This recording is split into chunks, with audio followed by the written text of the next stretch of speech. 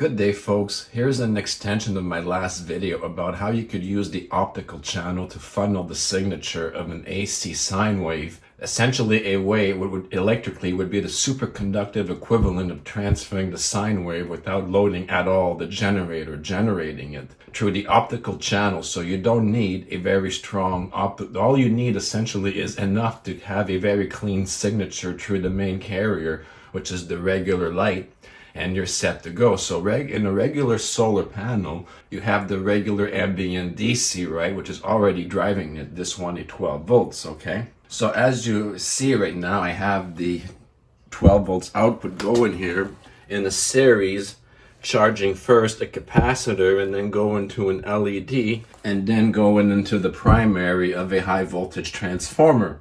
Now, normally this doesn't make any sense because this is a DC system, but essentially, of course, everybody would know that a capacitor is DC isolating, right? So being a super cap, this takes its time. It could take 15 minutes to charge at the solar, right? But it's a maximum of a 2.7 volt and it's hovering pretty well drained at a little under a volt right now, just for the demonstration. So I have it disconnected here and I could connect it to complete the loop. So essentially what I'm getting at is traditional electrodynamics wants to say that this would be a closed loop DC, but I fail to see it that way because the capacitor, no matter what, is DC blocking. What we measure as closed loop current is the displacement effect as the dielectric polarizes, but this is a pure field pumping effect. It's not an electron flow like they'd want to tell you. So to throw that out the door right now, that you do not need hardcore electron flow through a closed loop to generate electricity. And that's what the capacitor does. And Maxwell did a correction with that where you can, but the issue with that is people treat it just as a mathematical balancer and not a real physical thing. But the whole idea here is this could really be physical. It could be real power, not just a mathematical way of clearing a, a, a inconsistency as a correction like Maxwell did. Just, oops, let's just put it there quietly and the math dries, but we don't really use this. But the point is, it's not phantom. You could really use displacement, and we do every day without really acknowledging it when we use a DC blocking capacitor. It's just in a regular capacitor of a few UFs, that's almost instantly it's it's a one shot deal. Once the capacitor is polarized, then it literally there's no displacement DC going on unless there's pulsing AC or DC, which then the capacitor just becomes a passive element. Phase slightly, but either way, it's no longer a DC effect. So just wanted to put that out there, but because we're using a super cap, it allows us to experiment with the displacement field without using fancy switching like we normally would have to with lower uh, farad capacitors. We're able to sustain it and watch it do its thing, okay? So essentially what I'm gonna do here is I'm gonna connect this now and you'll see from the ambient so I'm connecting here, and of course my LED turns on. But essentially what's interesting is this lamp right now is not being powered by closed loop DC. It's in the loop of the displacement field. So we're actually charging this capacitor right now. So know before someone says, oh, it's the capacitor actually going backwards. No, no, no, no, no. This is less than a volt, and this is feeding it with 12 volts of ambient. So it's actually charging the capacitor very slowly, like maybe 0.1 a minute, but it's still charging it up and we're getting the displacement effect. And it's always and it's always happening, you see? It's not DC but acts like it. Now what's interesting here is we're looping this and of course on the scope here, you'll see it. Because I got the light here acting as a switch indirectly because it modulates its AC. And the solar cell gets that. Now I've got just a half wave diode here just rectifying the half wave and charging the capacitor. So that's why you're seeing a, a, like rather steep there on the positive side because I'm letting one, it's not a full bridge in other words, but it gives you the idea that we're getting this AC. So essentially what I'm getting at is all you have to do is engineer the Q you need in your LC circuit and as long as you have the structure of the waveform at the frequency you need, you can step it up theoretically to any voltage you want without loading in our case, this could be replaced by a joule thief driven circuit. So what you're getting at is the joule thief is no longer directly loaded, even through trying to use the back EMF, the inductive kickback. You get the load, you get the resistance. It's hard to get a pure potential, even at higher voltages without draining the input source. You can do it through the optical channel. And then this acts as a transducer. Just engineer the Q to your needs and it won't stress the load. Now the optical only has the job of supplying a clean sine wave. That's why we can be very far away here. We're not driving it with direct current like, like the traditional solar panels would want to do. I'm going to kill this now just for a moment to show you a difference. All right, so we can skip the displacement so we can skip the charging capacitor and go like this. This would be DC, just series DC. So what we're getting now is the DC side. But notice how it's a lot less bright just directly traditionally. You know why? Because now we're actually loading the solar cell in a closed loop. So we're adding resistance. So the cell is no longer as efficient and we're loading it. Therefore, it doesn't provide that pure displacement field, which wasn't loading earlier because it was just a side effect from charging the capacitor.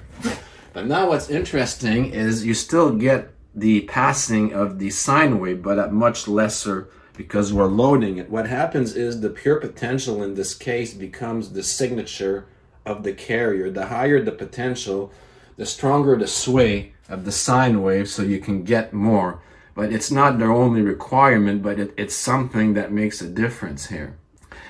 And what we have here is the capacitor connected to the voltmeter and it's charging, not drastically, but it's 22 UF and it's charging from the sine, okay? Now, of course, this is just to show you we don't need the capacitor, but we can take advantage of the displacement current because the displacement current becomes basically your version of a superconductive path to the AC side of it without resisting. Because you see, right now we're resisting because we got a traditional load in a closed loop. So we're bringing down that pure potential, which means we're kind of hiding that sine wave in there lower in, in the amplitudes. So that's why here on the output we have a little less. So to not have the loading effect is what I'm saying. You don't need to load at DC. Use the capacitor to isolate it at DC and all of a sudden you know the displacement let me show you that there's much more light look that's that's direct and when I put it on the capacitor it's much brighter because we're using the displacement field. It's hard to catch on the camera here. So this is right here direct. Sorry for the flickering. And this is, see, you see it, they're much more. But now we're no longer DC, it's the displacement current, but it still carries very strongly because it's a field effect, that signature, and we're much stronger. You can see from the negative side here. So just negative 11.6 V. So that means we're shooting 11.6 on the positive side. And look how quick now this is charging because we're no longer offering resistance and we've bypassed is what I'm saying. It's like a superconductive path. No more resistance across the AC loop. The transducer receives it direct and gives converts that to real power. This is real current. Piggybacking through the optical channel. So this is, should charge all the way up to about 12.2, 12.4. But that's just to show you right now and of course, we don't need this. This will work off ambient light. It's just if I shut it off, we'll lose the AC signature. So let's show you that. We close the light.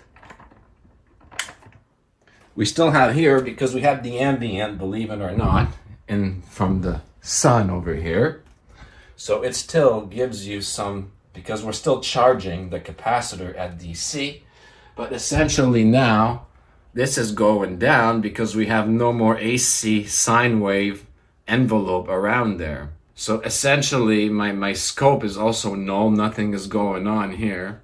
And I'll just actually short the capacitor to show you. We'll short it out. We're gonna short it out here. So we should see zero, right? I'm gonna wait a few moments. I'll go a few mi microvolts. millivolts because of course the memory effect, but it should settle at around 80 or 90. There's nothing feeding it right now. There's no um, displacement field.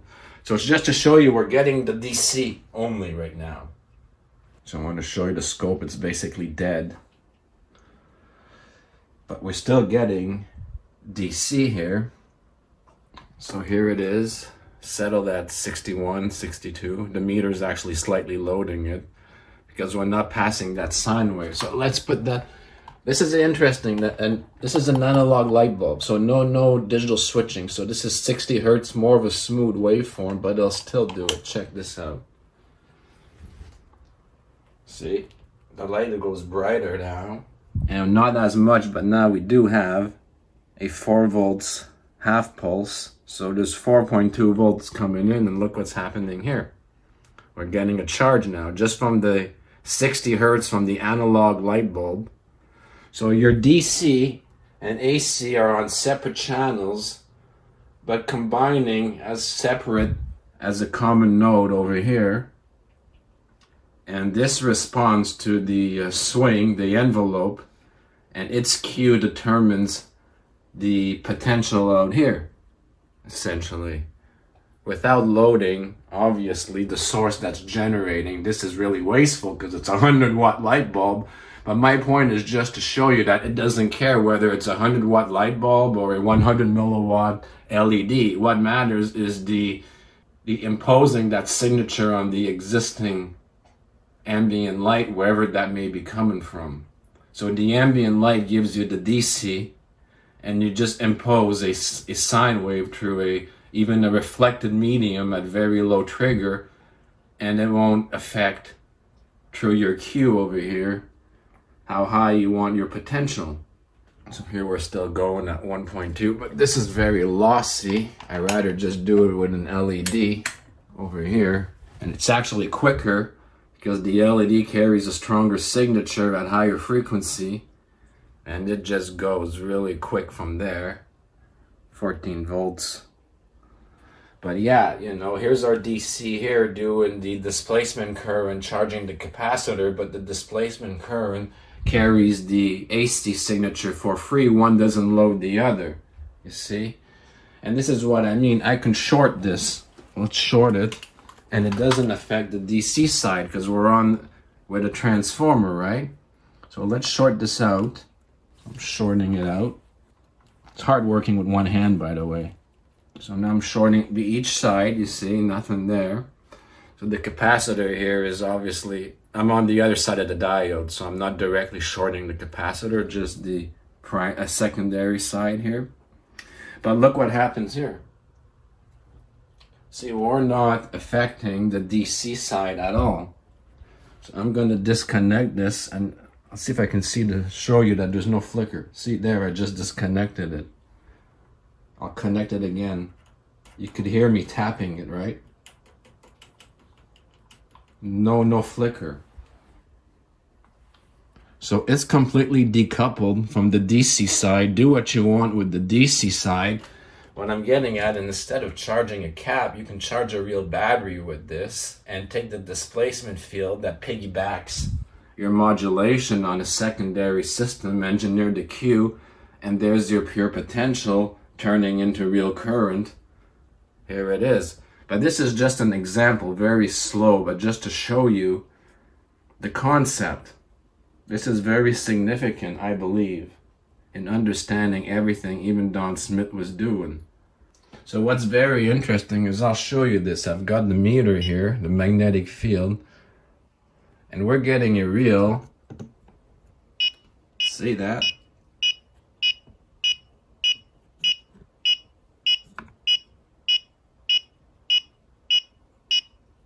Real magnetic field, dynamic magnetic field, the kind that actually generates, that triggers the flux, which gives you, this is what I'm getting at, folks, is this is real current being generated with a DC system. You shouldn't be having this with DC. So I'm going to show you it's coming from the lamp. We'll shut the lamp off. We're still getting DC, but without that AC superimposed on it. Look what's happening now. Nothing. Zero. No, no flux switching. No nothing. So what I'm getting at is you get your flux switching for free, which doesn't load the input however you want to do it. And that's where quote unquote over unity effects could start happening because the output here is real current. Once that flux gets switching, it doesn't matter how it's being triggered. It's following that envelope. So let's do it again. This is very important. That's why I'm repeating myself. So I turn the light on. There it is. There's your real flux. It doesn't care that there's DC on there or not. And there's quickly the capacitor 22 UF charging, which should hit around now we're getting about 16 volts. But this is real flux, this is real AC switching. As far as the transformer goes, it's giving you real current on the output, charging real devices. And it sneaked it through the optical channel, not affecting the DC side whatsoever. But as you noted, when I try to load without the capacitor, just the DC side, the lamp goes much lower. Because we're directly loading in a closed loop. We don't have the closed loop with the capacitor. It's directly field.